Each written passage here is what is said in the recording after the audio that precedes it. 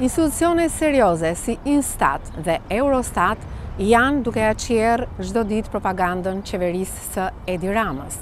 Përballë retorikës së Shqipërisë së lulëzuar të dhjetë milionë turistëve në vit, shifrat zyrtare tregojnë një tjetër realitet të trishtë i cili shqetëson të gjithë. Sipas Instat, në vitin shkollor dy mijë e njëzet e tre dy mijë e njëzet e katër janë regjistruar në arsimin zyrtar tre pikë shtatë për qind më pak nxënës se sa një vit më parë, në arsimin nëntëvjeçar tre pikë katër për qind më pak dhe në arsimin e mesëm të lartë katër pikë tre për qind më pak nxënës se sa një vit më parë.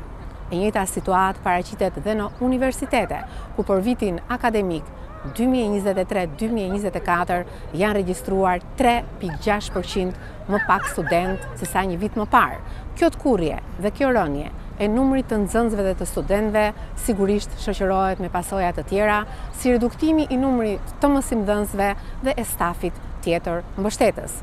Kriza në arsim dhe shpopullimi i vendit është duke dhënë çdo ditë pasoja të rënda të cilat nëse nuk ndërhyet e ardhmja do të përkeqësohet. Të rinjtë zgjedhin të largohen si pasojë e mungesës së shpresës dhe keqqeverisjes, ndërsa maturantët zgjedhin të largohen për studime jashtë vendit për shkak të perspektivës dhe lehtësirave që vendi i tyre nuk e ofron. Në kushtet e një krize të madhe shoqërore, Partia Demokratike ka detyrën dhe përgjegjësinë për të dhënë zgjidhje dhe për të nxjerrë arsimin nga kriza.